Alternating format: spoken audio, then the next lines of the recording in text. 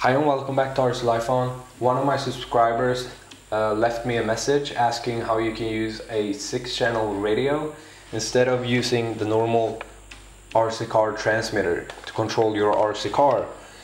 Now all you have to do is remember how your connectors were plugged in from the beginning. Simply plug them out and now use uh, the receiver that talks to this transmitter.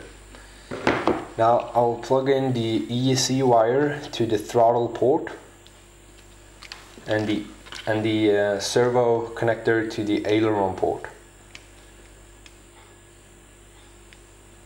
Oh, that doesn't work. Shoot. I had to remove the plastic casing because the servo connector has this annoying plastic tab so it wouldn't actually go in. But if we continue, just take the ESC connector and plug it into the throttle port. And take the servo connector and plug it into the aileron port.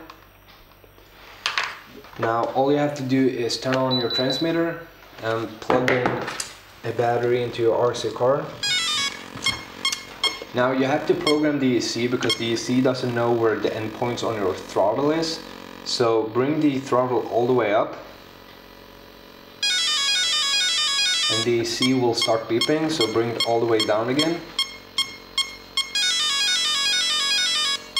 And now bring it to the middle. And that's all you have to do. So let's turn let's turn the car just like that. Now you'll see the um, neutral point is in the middle obviously and everything upwards will be forward. So if we push the stick upwards the car will go forward. And if we um, and if we push the stick downwards the car will go backwards or in reverse.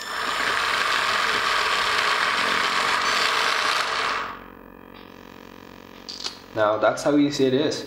I hope this was helpful and I'll thank you very much for watching don't forget to subscribe and I will see you next time.